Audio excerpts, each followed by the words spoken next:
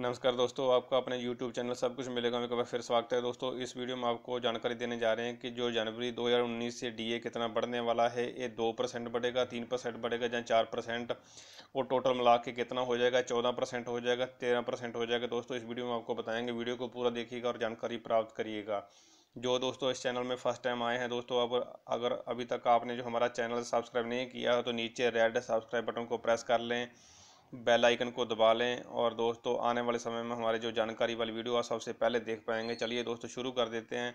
आपको बताते हैं दोस्तों, जो भी डी ए जो अगले जनवरी से बढ़ने वाला इसकी जो है हाइक होना है, उसकी चार परसेंट तक दोस्तों बढ़ सकता है। इसका मैं कारण बताता हूँ, क्योंकि जो डी ए दोस्तों, वो महँगाई के साथ बढ़ता है। हमारी जो कंज्यूमर प्राइस इंडेक्स है दोस्तों, वो देखिए, जून 2018 में 291 थी और जुलाई जो है 2018 में 301 तक यानी कि 10 का डिफरेंस आ गया। 10 पॉइंट इंक्रीज हो चुकी है और पैकेट आप एट 301 दोस्तों, आपको देख लीजिए 301 तक पॉइंट इसका चला गया है।